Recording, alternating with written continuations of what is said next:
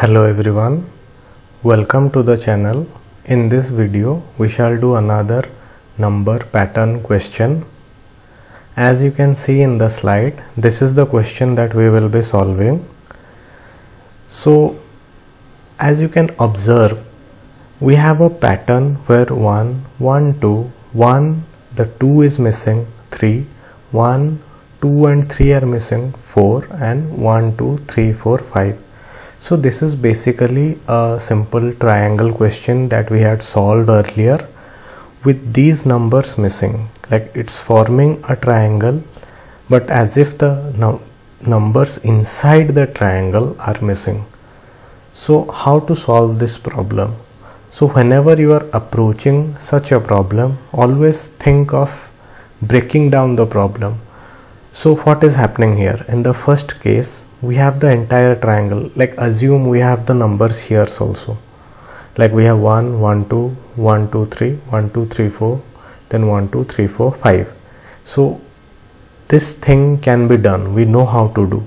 Now we have to find out the condition so such that that we will remove this and this area from the pattern. So let us first code it with all the numbers present in it. Let us define a function def star n for i in range of 1 to n plus 1 for j in range of 1 to i plus 1 print the value of j comma end then finally again print for new line. And here star we will print from 1 to 5 so we had done this earlier in a previous video and let us just to remind this for loop is to go through the lines and this is to print the pattern 1 1 2 1 2 3 through each line. So this helps us to go to the required line and this helps us to print the values in that given line. So if we do this it is printing 1 1 2 1 2 3 1 2 3 4 1 2 3 4 5 so we have got this. What we now need is to remove the 2 from 1 2 3 and 2 3 from 1 2 3 4 so when we look at this problem we can observe that whenever we are at this line that line equals to n. So whenever we are in the fifth line if n is 5 whenever suppose we are in the 10th line if n is 10 we have to print the entire pattern else what we have to do else what we are doing is that we are printing the first element that is 1 and the number that is present at i or the particular line that we are at. So since we are at the third line we will print 1 and 3. If we are at the fourth line we will print 1 and 4. If we are in the second line we will print 1 and 2. So what we will do is that we will modify this existing code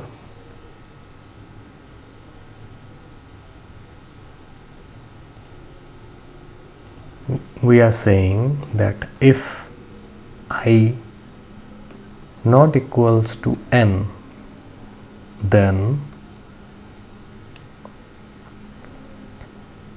we will check further that if j equal equals to 1 or j equal equals to i then print the value of j. Else simply print a space and if this if i now is equals to